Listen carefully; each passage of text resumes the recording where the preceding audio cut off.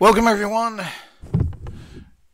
Grand Gnosis Master Dr. Thor Templar here, and we're going to take you through another fascinating look into the real world, truth, instead of the illusion you're living in. Now, what I want to cover right now is um, everyone does this to a large degree in terms of falling into the trap that for some reason common science has anything to offer us whatsoever. It is common science that needs to come to the occult sciences to learn, not vice versa. Uh, the occult scientists are the original scientists. We invented everything. It was all the occultists who formed the basic understanding of primitive science and um, what is now based on 500 year old uh, Newtonian understanding, uh, who by himself, um, Newton was a. Um, a person who wrote books on alchemy and everything else. It was much more expansive than the little uh, box that all the common scientists live in today. Um, also, the typical very strange mix that we get from all these scientists uh, from the past to the present with their influences by uh, religion and everything else. Newton uh, was, and the college system set up in England in particular was based on the monastery system of the Catholic Church. was all men. It was all they were not um, able to marry, etc. As Newton didn't, and of course this generates all sorts of problems, and most likely uh, complicates and uh, further clouds his thinking uh, by not having a normal life, a normal. I mean, you don't have a normal sex life. What what kind of perceptions are you going to have?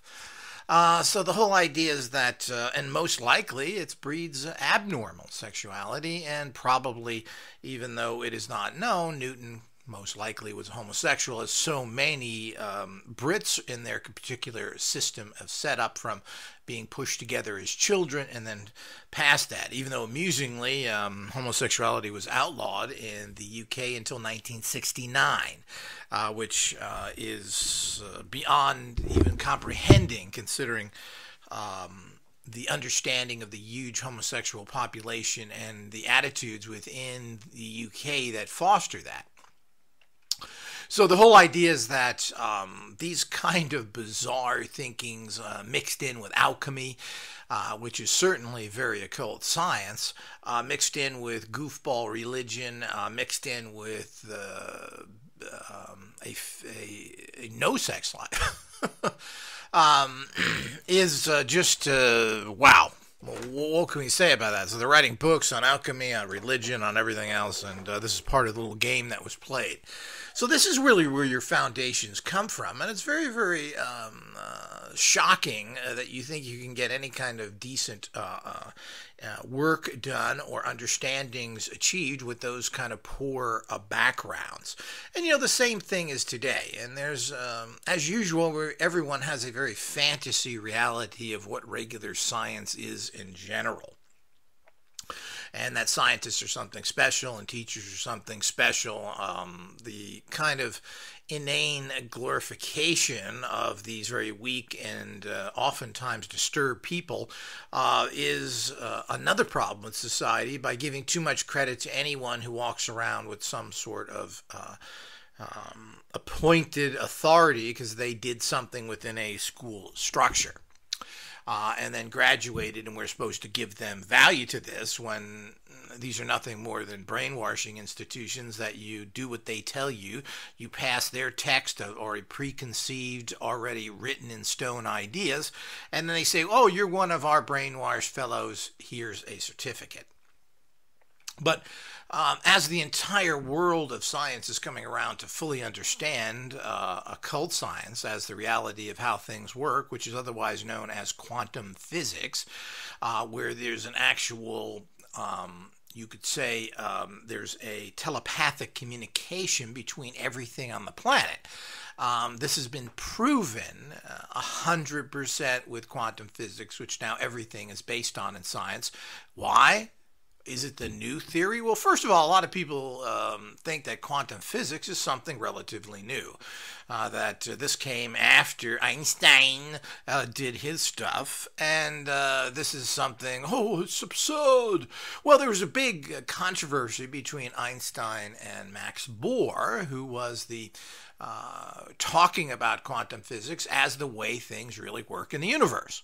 So, this is nothing new. Quantum physics uh, goes back uh, prior, actually, to Einstein's um, theory of relativity and matter and everything else, uh, which has been proven to be 100% wrong. And of course, you know, he spent his entire life trying to prove something that was a lie. And then, of course, in later life, well, you get trapped into that. And I've talked about this before is that, you know, you get trapped into defending your position because you're not seeking truth, you're seeking personal ego gratification. And science should always be looked at as, well, yeah, we thought it was like that. We had a lot of good discussions about it, but it's not like that anymore. We have to move on to truth. But nobody seeks truth. Everybody seeks to fill their own pockets, get their ego gratification, get their next job at their college.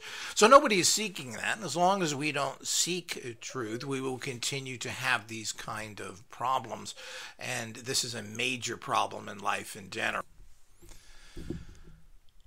So there is never really that aspect. So as long as you have people that are doing things strictly for ego monetary benefit, which is all tied in, uh, people don't understand the big game in science. And the big game in science is you get recognized. It's a almost movie star like uh, system that science has and you write your little papers and uh, you get well known. And this is all about patting each other on the back, going to your little conferences and talking about uh, how everybody uh, pats you on the back. And of course, if you think that things are being tried out by one scientist after another to prove or disprove what you're doing, this is an, a complete and total fallacy. You're not going to spend your life um, doing experiments so you can make someone else uh, get the benefit because they are right. It just doesn't work like that. Um, scientists are constantly arguing, fighting among themselves, trying to get ahead, trying to get published. I mean, everyone ignores this, like these stupid, uh, dumb bunkers and skeptics who don't who want to take everything at face value. Of course, nobody lied. Of course, you're not getting disinformation. This is a fax. It came from the government. It came from science. So it's a fact. How ridiculous uh, is that? But this is the kind of imbecilic lies that uh, these people live in, particularly skeptics and debunkers who take everything at face value. And of course, nothing could possibly being done for money or um, or for personal ego benefit. Um, no, no, that could possibly. Why would you possibly do that? Because we all work like uh, perfect moral people.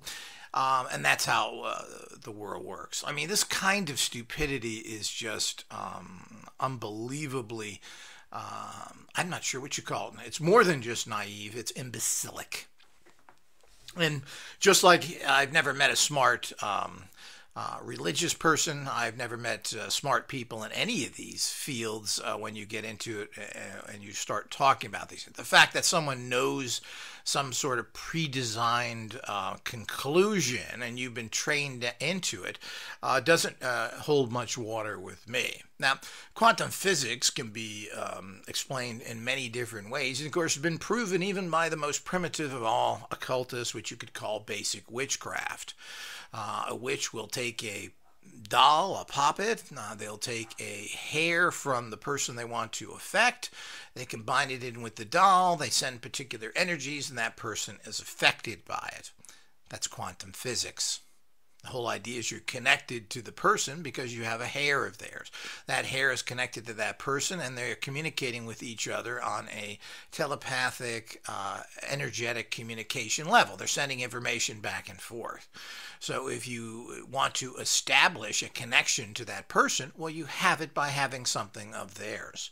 Uh, so by doing that, you've established a connection of energy, and then you send through that connection just like a telephone call, you can send, uh, you can talk to somebody about anything you want, good things, bad things, whatever. That is quantum physics. no matter where that person is in the universe. So if you have a hair from that person and you're living in uh, Australia and you live in Canada, well, you're still affecting that person based on the understandings of true occult science, otherwise now stolen and called quantum physics.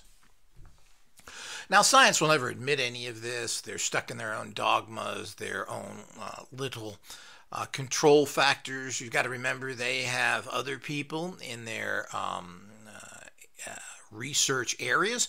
But you've got to remember this pressure isn't just other quote scientists who are probably idiots um, who can't even figure out how to tie their shoes but come up with these fantasy numbers. You know, I'm always amused at the very occult looking uh, way that things are written about in advanced uh, mathematics and physics, which is all based on uh, square means this, two slash here means that. It's amazing how this is just a complete and total contrived way of trying to figure things out and somehow piece together they claim makes sense.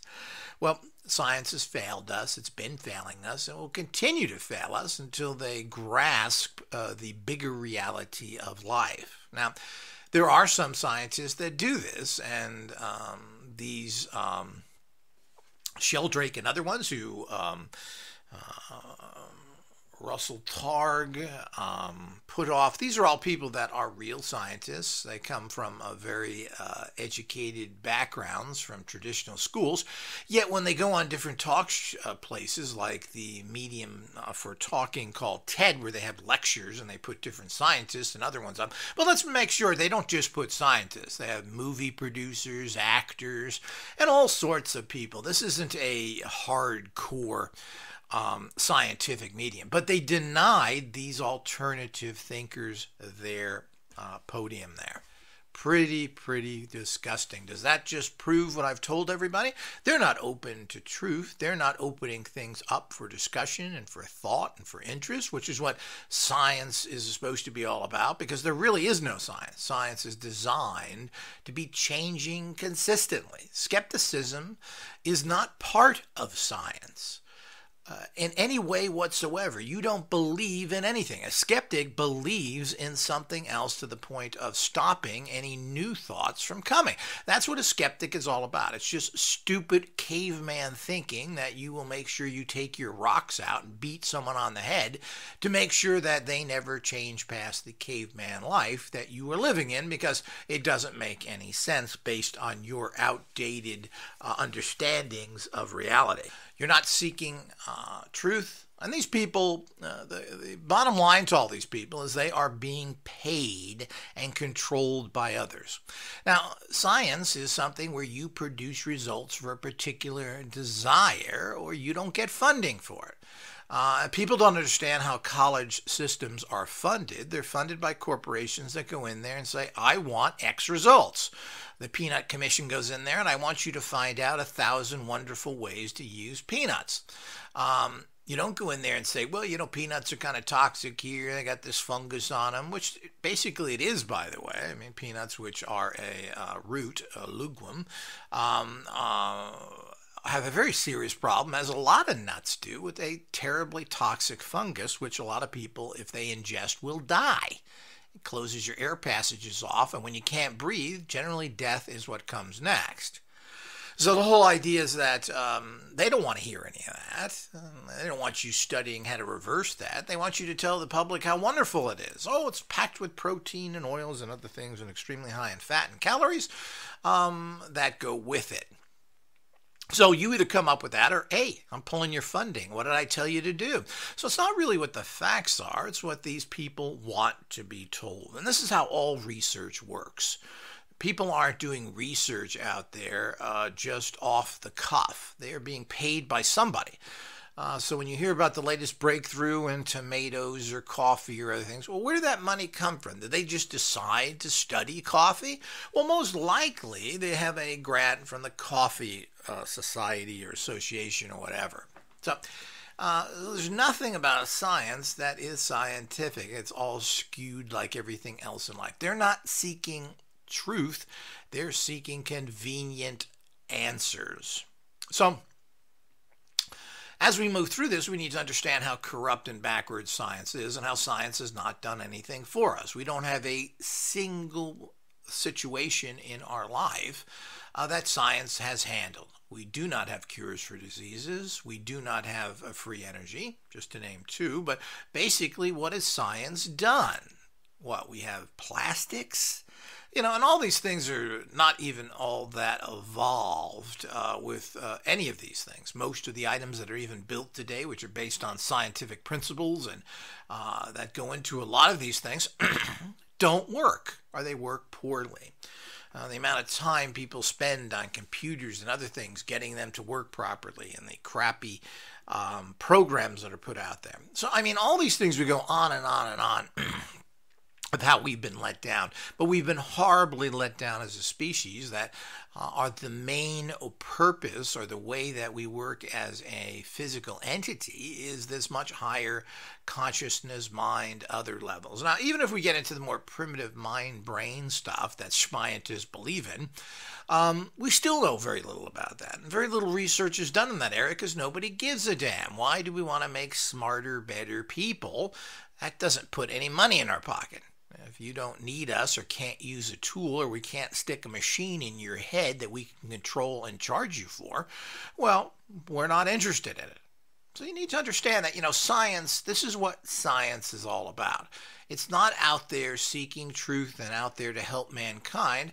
Um, and the scientists also make sure that they put a price tag on there that's enormous, like the greedy scumbucket doctors that bleed you for every penny they can in a life crisis because they know what are you going to do? You either pay or die, but you die anyway. You just die with a bigger debt and they get uh, nice fancy cars and other things. Um, so the whole idea is that. this is all the con game that is given to you. Until science comes and actually embraces the occult sciences and fully understands that these kind of principles are, are what has been running the universe and continues to run the universe, uh, then they are adversarial in their particular position. Nobody is looking for free thought or looking for truth, and everyone needs to understand that. Nobody is looking for anything that actually uh, produces results. They're based in how to make money or how to steal money out of your pocket.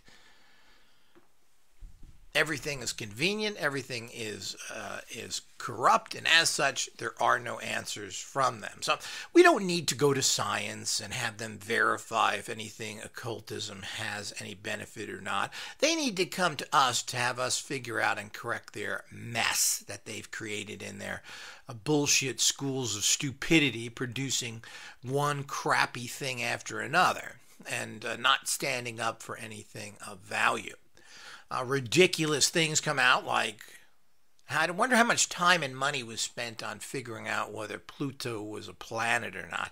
Now uh, it's thought that it's not a planet. Frankly, who cares? Secondly, people spent time on that. Was it Neil deGrasse Tyson? This is what he's known for? Uh, this is absurd. Uh, who cares? And we can't tell anyway because of the very poor um, uh, system of being able to see so far away. We don't have enough space telescopes, which we should have hundreds being built right now and being shot into space so we can just see everything. And then we can figure. What they don't say is all the presumptions by science and all the things they thought were the case. Now that we get space telescopes uh, in different areas, are disproving everything that they really said in the past. This is another cover up by scientists. They were wrong. They continue to be wrong.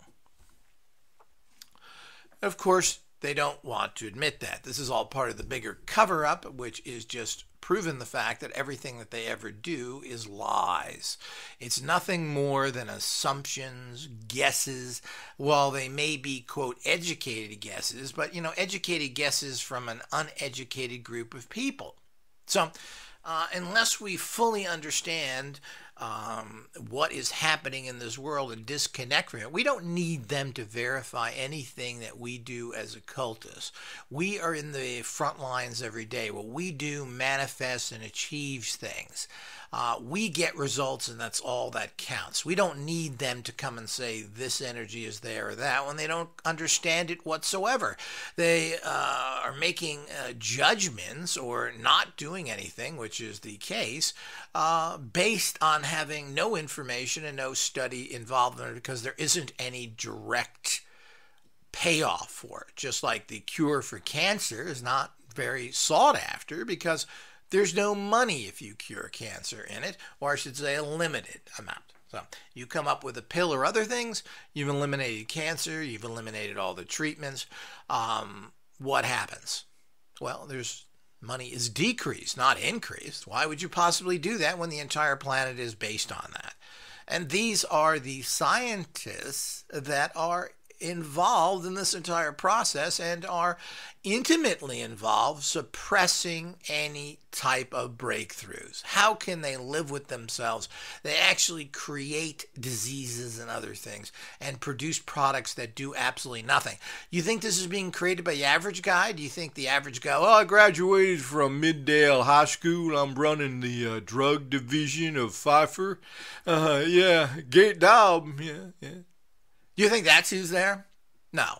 You'll find heavily degreed people that are running these medical divisions that are being paying high sums of money that are deliberately manufacturing toxic, horrible drugs so they can produce another drug to fix the drug problems that they have. Or just in general, they're certainly not looking to cure anything, they're looking to create more and more problems.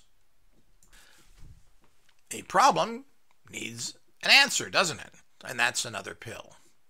So as we go through this, which is not just another pill, that's another billion dollars in the pocket of these companies, which have been caught on many occasions.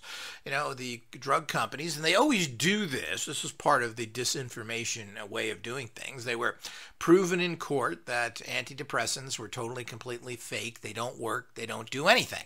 They sold $6 billion worth of these this conclusion, the drug companies came out and said, Yeah, you're right, man. No, we did it. It was just a scam. And the court said, Well, bad boy. And sued them, I believe, $2 billion, leaving them with a profit of 4 billion. Well, that don't sound like bad money to me. I'll take the four billion, and this is how the game works. The same thing happened with all this uh, recent um, banking system collapsed. Is that um, these people were found guilty and they were fined approximately two weeks worth of income after they destroyed the entire system and millions hundreds of millions of people lost their homes and all the other things that happened. They were basically fined. Well we found them guilty though. You know we took them to court. This is how they, the game works. Uh, and they were fined a i don't even know if you can call that a slap on the wrist. A lot of people made money from that particularly attorneys and other things that got involved in these cases so it all turns out to be a bunch of nonsense. And um, uh, what happens is that people do these criminal acts, uh, they're found guilty, and they get slaps on the wrist instead of being thrown into prison and having fines that are triple whatever income they may have made. So if uh, you made uh, five or six billion dollars on a drug that was totally false, well, first of all, there should be criminal charges about the people running that company, and you should probably be fined 20 to 50 billion dollars. So the fact that you have to pay more than uh, quite a bit more so that you won't do that in the future. Plain and simple. So, but none of that actually happens. Now, we can blame, oh, it's politics. It's the, no, it's the individual person that allows this to happen. It's the scientists who go along with this, uh, who don't stand together to go against this kind of horrible corruption. And this is in every phase of life, so that's why nothing ever changes. So, there's nothing for them to verify with their screwed up world that can't produce free energy, that can't produce any cures, that can't extend uh, life to any great extent, um, that is all based on an evil, corrupt, money based society thrown in with their sick, perverted comic book religions. We don't need any of these goofballs. And anyone who's ever known these quote academics and other ones knows the kind of kind of freaky, odd people they are and how they really can't do anything in life in general. And God forbid their car doesn't start because they're going to go into a panic because they don't know how to do anything. Um, this is uh, a sad but true fact in the world. So, why should we possibly go to these people and ask for their help or verification with anything? They need to come to us to verify what they're doing makes any sense whatsoever. And it's based all on their uh, complicated process, you know, like medicine and law, where they use uh, dead language terms, otherwise known as Latin, to confuse people further so that the game is more theirs. Uh, they play this game when ultimately I don't care about your jive talking nonsense with your funny little squiggles uh, on a board and how you're going to explain to me how the essence of the universe works when when it comes down to it you can't even cure acne.